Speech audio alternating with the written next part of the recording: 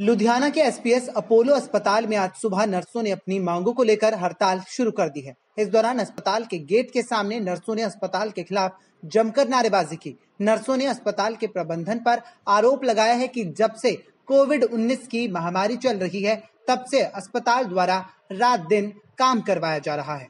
नर्सों के मुताबिक प्रबंधन के द्वारा कहा गया था कि इस महामारी में सभी नर्सों की सैलरी बढ़ा दी जाएगी। मगर अभी तक कोई सैलरी नहीं बढ़ाई गई है। इसी के चलते नर्सों को हड़ताल पर जाने के लिए मजबूर होना पड़ा।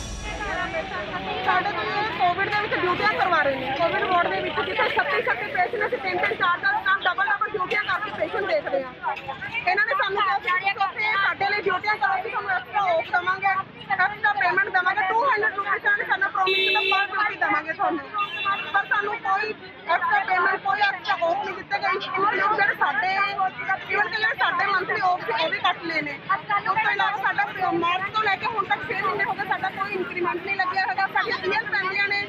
ਆਏ ਮਾਰਚ ਤੋਂ ਲੈ ਕੇ 14 ਛੁੱਟੀਆਂ ਉਹ ਵੀ ਸਾਡੀਆਂ ਕੱਟੀਆਂ ਹੋਈਆਂ ਇਹਨਾਂ ਨੇ। ਉਸ ਤੋਂ ਇਲਾਵਾ ਅਗਰ ਸਾਨੂੰ ਕਦੇ ਅਸੀਂ